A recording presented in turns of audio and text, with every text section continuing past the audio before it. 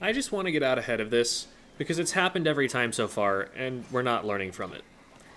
It's very silly to be mad at people for getting a higher egg total than you in Salmon Run. Even if there were money on the line, like, man, there's this whole salmon run community with years of experience and people who work for free making guides and teaching people how to do what they do and practicing all the time with people all across the world and entering competitions. And to look at someone like that who lives and breathes this game mode someone who would sit down and teach you everything you ever wanted to know and more than you imagined there was to know if you just asked and really meant it someone who loves the game more than anyone else and you say you don't like that they enjoy it like that. What are those priorities? I can't get behind that.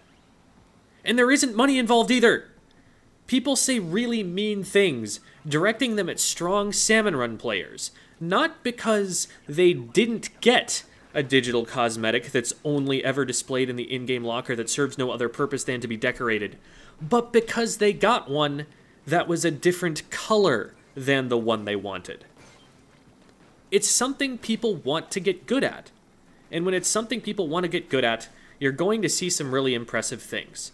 And if you really want to push for that top trophy and learn to do those impressive things, you know what?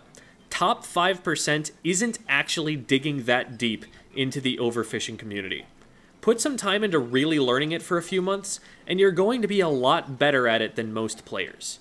The crazy world record setters are down in some fraction of the top 1%.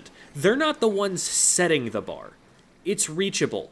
It's hard, and I personally am lucky to hit the top 20% when I do.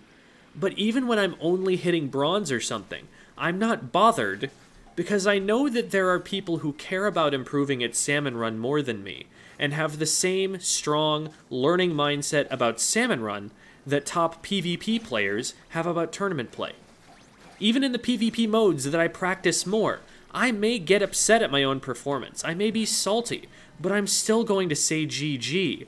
I'm still going to acknowledge that there were other players involved in that competition, and that sometimes it's not that I screwed up, but that other people did extraordinarily well. Because I'm not the main character of Planet Earth, and sometimes it's someone else's turn to win at the Squid Paintball video game on the Nintendo Switch console people who are, quote, sweating, unquote, at this game are not ruining the experience of playing it for you.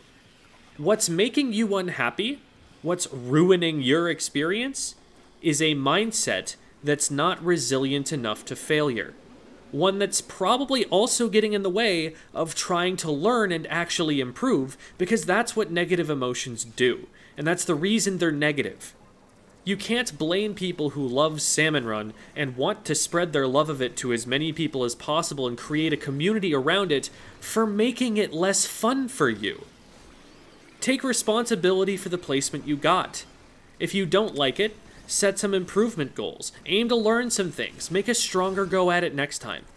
Instead of aiming negative emotions at the people who got that top 5%, go into their streams and ask them questions take their answers, go into games informed by them, and practice the new way you intend to play based on them. Think critically. Analyze your deaths afterward to figure out how to avoid them next time. Learn the roles the weapons play and how to game plan. Taking the time to do that is going to make you one of the top 5%. There are only so many people who play Salmon Run that are interested in actually getting up there and doing the work that it takes. There is absolutely a spot there for you if you work at it. Either that, or just decide to be happy with the time you spent with the game, with your friends. Decide that, you know, a different color trophy would be cool, but that you're okay with someone who wanted it more than you getting it. Because you have other priorities in your life, and that's fine. That's really mature and confident and secure of you to recognize and make peace with. You're not locked out of playing. You're not locked out of having fun. Just because when someone else plays and has fun, they make a bigger number show up on their TV than you do.